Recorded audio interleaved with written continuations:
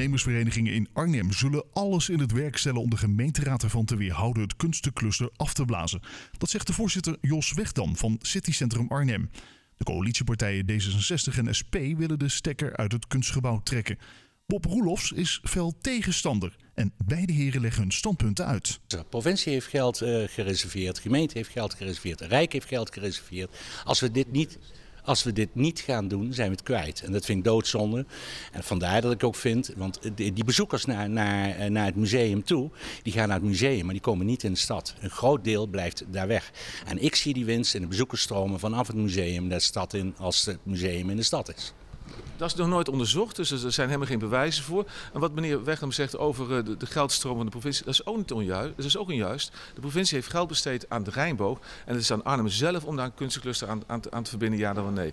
Ik ben volledig met meneer Wegham eens dat die zuidelijke binnenstad een impuls nodig heeft. Daar is er ook niet de discussie over. Alleen wij vinden het een verkeerde icoon. Die icoon hebben we al, die moet niet daar komen. Laten we met z'n allen de energie gebruiken om tot een goede invulling gaan komen van de zuidelijke binnenstad. En dan zul je zien dat de provincie zeker met het geld wat ze daarvoor gereserveerd hebben ons zullen steunen. Het is niet gebonden aan alleen het kunstklus. Dat is gewoon een onjuistheid. En dat eigenlijk van nou, dat geld, dat geld wat er is, dat mag ook anders besteed worden. Nou, ik zit toch weer op die daadkracht en ik deel dit echt niet. Want we hebben besloten om een kunstcluster neer te zetten. We hebben besloten om een Rijnborg uh, uh, in te gaan en te gaan bouwen. Iedere keer weer missen we weer de boot in Arnhem. Het is, het, het is niet de ene keer, dan is het de andere keer weer. Dan is het weer nee op het request, nul op het request. Wij moeten gewoon ballen tonen hier in Arnhem. Ook dat, is, ook, ook dat, nee, maar dat is ook allemaal makkelijk om te zeggen. Dus alleen waar meneer Wegnam het over heeft, is de haven. Moet, nou, ik mag ook nog Jos zeggen, hartstikke mooi. Maar dat blijf ik ook zeggen, want ik heb heel veel respect voor zijn betrokkenheid. En dat staat ook buiten kijf.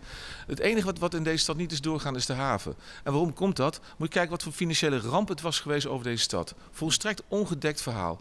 De rest heeft deze stad fantastische impuls gehad de afgelopen jaar. We hebben bijvoorbeeld, um, uh, Klarendal is fantastisch opgeknapt. Uh, is er gekomen. Malburg ziet er goed uit. Het boek gaat beter. Prezikaaf. Dat soort keuzes moeten we durven de stad deze maken. En dat is ook hard nodig, denk ik. Dat kan ook met datzelfde budget. Nou, je kunt, je kunt als stad daarvoor kiezen. Maar de provincie heeft gezegd, pak die zuidelijke binnenstad aan. En dan is het kunstencluster. Maar een klein factortje. We, we moeten ons focussen op zeg maar, die woningen daarbinnen terugkrijgen. Studentenwoningen, daar moet daar veel meer leven komen. Er zijn mooie plannen gemaakt, ook met Jans Beek. En wat meneer, uh, wat Jos mag ik nu zeggen, uh, ook zegt, is over uh, de besloot. Nee, dit is de democratie. De democratie heeft wel eens wat anders veranderd. De, meneer Wegham heeft nu voordeel. Sorry, weer Jos. Jos heeft nu het voordeel dat nu ook de politiek draait met de koopzondag. Dat is voortschrijdend inzicht, dat weet hij ook. Dus dat wordt ook gebruikt door tegenstanders. Dat hoort dus all in the game. En wat weet je wat mooi is? Op 19 maart 2014 kunnen Arnhemse kiezers bepalen wat ze uiteindelijk willen. Ze, kiezen voor, ze kiezen voor partijen die zeggen wij gaan voor het kunstcluster. Of ze gaan naar partijen die zeggen wij willen het niet. En maar D66 heeft zich daar heel duidelijk over uitgesproken. Nee, nee, nee, op een democratische manier nee, gerealiseerd. Volgens mij D66 staat voor democratie. Hè? Maar jullie zijn beide D66 mensen. Hoe, hoe zit het? Allemaal. D66 heeft een verkiezingsprogramma gemaakt. Maar we, D66 reageert nog mee in een coalitie tot en met maart. En ik denk dat er in die periode nog heel wat gaat gebeuren als het gaat over beslissingen, Rijnboog en dergelijke. Want ze hebben een coalitieverdrag, een coalitiebesluit ondertekend. Waar ik van uitga dat ze keurig nagekomen worden. Dus laten we zeggen, het zou er doorheen gedrukt kunnen worden voor de verkiezingen? Dat of niet? zeker niet gebeuren, want de democratie eh, in, in Arnhem werkt wat dat betreft heel goed. En oh, dat is ook niet helemaal juist wat uh, meneer Wegdam, wat meneer Jos zegt. Wat meneer Jos zegt. Uh, wat nu gaat voorlichten is dat de SP heeft uh, voorgesteld om op 13 januari in de Raad te bespreken. Moeten we de alle activiteiten in zaken het kunstcluster nu gaan opschorten? Er is nu een architectenkeuze gaande. Moeten we het opschorten? Dat ligt voor. Ik denk dat daar een meerderheid, die gaat inderdaad met de SP. En dat is een nieuwe situatie. En dan is het aan de kiezer op 19 maart om te zeggen van we gaan na 19 maart door of niet. En zo hoort het ook in onze democratie. Partijen maken nu zeg maar hun scherpe kantjes duidelijk. Nou, dat is heel duidelijk. SP heeft dat ook meteen opgepakt. We wisten natuurlijk altijd dat de SP tegen prestigeobjecten waren. Dat is het natuurlijk ook. En dan is het ook mooi Dames en heren, op 19 maart kunt u heel wat kiezen in deze stad. Ja, ik blijf het ongeloofwaardig vinden, want wat is de waarde van een besluit wat genomen wordt in de gemeenteraad? Ja, maar dat, dat zeg je nu met dit besluit omdat je niet uitkomt. Met koopzondagen heb je alleen maar gelobbyd om dat te veranderen. Op Gele Rijderspleinen heb je dat gedaan. We met hebben... de Rijnhal, nee laat me even uitpraten. Ja. Met de Rijnhal, met Dekelon probeer je dat te doen. Dat hoort bij het spel van de democratie. Jij probeert mensen te overtuigen heb, van, ik... van je argument. En soms win je dat en soms verlies je dat. Nee, All in the game. Ik ben niet aan het verliezen, dus wat dat betreft is dat helemaal geen item, helemaal geen issue. Koopzondagen is een heel ander verhaal geweest. We hebben alleen gevraagd het convenant naar voren te trekken. Dat is het enige wat eruit gekomen is. mijn punt. Mijn punt is dat je in de democratie probeert mensen tegen, je probeert op, voorstanders en medestanders en tegenstanders met elkaar te verbinden. En soms krijg je ze mee en soms krijg je niet mee. Helemaal nou, ik vind, het, ik vind het hartstikke mooi dat jij erin geslaagd bent met CCA om die koopzondag met je mee te krijgen. Die, die, dat die raad daar oor heeft eh, gehad en goed geluisterd heeft. Nou, dat gebeurt me nu ook. Eh, dit is een volstrekt democratisch proces geweest hoe het gegaan is. En het laatste woord, gelukkig, ligt op 19 maart 2014 met Wanneer, kiezen. wanneer eindigt zo'n proces? Het gaat mij, als er een besluit genomen wordt, dan is dat onomkeerbaar. En hier in Arnhem is het bij regelmaat dat het weer losgetrokken wordt. En daar heb ik verschrikkelijk veel moeite Ja, mee. maar- En zeker om een kunstencluster. Waarvan ik denk, dan krijgen we een icoon in de stad waar we op zitten te wachten. We staan in een icoon. Het trekt enorm veel mensen, enorm veel publiek vanuit de regio. Die toch 60% van de kopende klanten is hier in Arnhem. En daar ben ik heel erg zuinig op. En daar wil ik voor uitpakken als, het, als dat in mijn vermogen ligt. Nou staan we, dan staan we bij een kerstboom. Eh, to- Tot slot, want eh, we moeten natuurlijk even een eind. We gaan even verbroederen. Zijn, zijn betrokkenheid is, dat zie je Dit altijd. niet. Nou, nee, nee. we- Zijn betrokkenheid je hem altijd. Jullie staan, jullie staan verbroedelijk naast elkaar bij de kerstboom. Wat zou je nou tegen elkaar kort nog willen zeggen? Ja, nooit doen. Het gaat ook niet gebeuren, het kunstcluster. Dat weet je ons ook. Ik wens je heel veel succes in je strijd. Kijk, dat is het mooiste. Dankjewel. En een goed jaar en blijf betrokken met deze mooie stad. zo.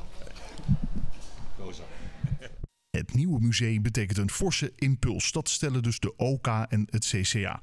Het voegt niets toe en het is een verkwisting van geld. Dat zegt Bob Roelofs. En beide hebben natuurlijk het beste voor met Arnhem. Maar hoe de plannen verder gaan verlopen, ja, dat zullen we gaan meemaken in 2014. Het gerechtshof in Arnhem draagt het Openbaar Ministerie niet op de Gelderse oud-gedeputeerde Ko Verdaas te vervolgen. Verdaas diende in zijn tijd als gedeputeerde herhaaldelijk onjuiste declaraties in. Reizen die hij vanuit Zwolle maakte, declareerde hij als reizen vanuit Nijmegen. Hij ging niet om grote bedragen, maar volgens de fractievoorzitter Marjolein Faber van de PVV wilde hij verhullen dat hij niet in Gelderland woonde. Hij moest later als staatssecretaris ook aftreden vanwege deze kwestie. Jongeren in de Betuwe die nog geen 18 jaar zijn en in de nieuwjaarsnacht wel alcohol in de horeca drinken, worden terstond beboet. De horecatoezichthouder Michiel van Baardenwijk laat weten dat de gemeente Lingewaard en Overbetuwe de nieuwe wetgeving vanaf het eerste uur na de jaarwisseling meteen willen naleven. Naar verwachting zijn zowel in Lingewaard als Overbetuwe vijf horecazaken deze nacht geopend.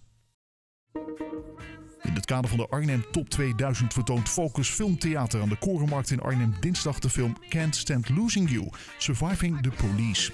De muziekfilm begint om kwart over vier. Op 29 december draait om half acht ook een film, Lou Reed's Berlin. Bij de provincie Gelderland ligt voor de gemeenten die zijn aangesloten bij het Cultuur- en Erfgoedpact Regio Arnhem subsidie voor cultuur op de plank. Het gaat om een bedrag van maximaal 41.000 euro per gemeente. Voor de cultuurvoorzieningen in de vijf Liemerse gemeenten die meedoen in het Cultuur- en Erfgoedpact, dat is Westervoort, Duiven, Rijnwaarden, Zevenaar en Doesburg, kan dat betekenen dat maximaal 405.000 euro beschikbaar komt. Dit jaar viert Macro Nederland haar 45-jarig bestaan. Food, office and cleaning en non-food. Ja, de ondernemers in Nederland weten de macro al jarenlang te vinden. Wij nemen een kijkje in het crisiscentrum, want zo mag je het wel noemen, de dinsdag voor kerst. Nou, we zijn eh, bijzonder tevreden over de aanloop van onze eh, klanten, met name onze professionele klanten. Eh, ja, we zijn ook blij dat wij tot op de laatste dag de, onze klant van de, van de goederen kan, kan voorzien. Eh, ja, we zijn echt een, partner voor onze professionele klanten. Je moet daarbij denken aan eh, horeca, winkels eh, en kantoren. Dus we zijn eh, absoluut eh, tevreden over onze najaarsperiode. Macro bestaat dit jaar dus 45 jaar en transformeert van zelfbedieningsgroothandel naar partner voor ondernemend Nederland. Er zijn veel acties geweest, zoals bijvoorbeeld Werelddierendag. Toen organiseerde de Macro vanwege haar 45-jarig bestaan een spraakmakende actie. De allereerste klant per vestiging die met een levende kameel naar de Macro kwam, kreeg een cheque van 1000 euro. Ja, dat was zeker eh, heel bijzonder. Was ook eh, heel leuk. Ehm, eh, s morgens vroeg eh, ja, stonden de eerste kamelen al voor de deur. En eh, ja, degene die in de vestiging Duiven als eerste was, eh, was, was, was een klant eh, van ons die een zorgboerderij heeft. Dus het gewonnen bedrag is ja, uitstekend terechtgekomen. Van koffie tot computers en van fietsen tot enorme kalkoenen. De Macro heeft haar naam hoog te houden als het trefpunt van ondernemend Nederland. De voorbereidingen zijn dan ook al maanden geleden getroffen om deze dagen soepel en succesvol te laten verlopen. In september bijvoorbeeld begon de winkelketen al met het inpakken van de kerstpakketten. Nou, dat klopt. Uh, ja, Kerstpakket is eigenlijk een bedrijf, een dochteronderneming van ons, uh, wat het hele jaar uh, in, werkt. de kerstpakketten inpakken, dat begint eigenlijk al in september. Maar daarvoor zijn er vele voorbereidingen, het inkoop van assortimenten, afspraken met leveranciers maken. Dus het is eigenlijk het, een, een, bedrijf wat het hele jaar rond werkt. Alleen maar voor de kerstpakketten moet je even naar. De voorbereidingen voor hier in de winkel zijn natuurlijk ook enorm. Ja, ja dat klopt. Uh, zoals je weet uh, ja, moeten artikelen op tijd uh, besteld worden. er moeten afspraken gemaakt worden met onze leveranciers over de gewenste aantallen. En de samenwerking daarbij is ook om de, de, trends te bepalen. Ja, wat gaan mensen eten in, het, in de kerstperiode? Wordt het vlees, wordt het vis of de traditionele gourmetschotel? De drukte is enorm, de laatste inkopen zijn gedaan en de kerst staat voor de deur. Voor de meeste ondernemers ook een dag waarin ze vrij zijn, op weg naar 2014. Wat hopelijk voor iedereen, ook economisch, een beter jaar gaat worden. Uh, ja, tuurlijk uh, heeft elk bedrijf uh, te maken met de crisis, maar wij zijn absoluut niet ontevreden over onze ja, omzetontwikkeling in de laatste maanden. Zien jullie daar eh, qua klanten ook iets op terug? Nou, een ander bestedingspatroon of iets dergelijks? Uh, nee, uh, wat, je, wat, wat wel een trend is, uh, dat mensen zelf echt hun gerechten klaar gaan maken. En daarbij valt met name het hele sushi gebeuren enorm op. Dat mensen zelf sushi maken. Maar ja, geen noemenswaardige verschillen met de voorgaande jaren. Op naar 2014? Dat vinden wij ook en wij zijn er klaar voor.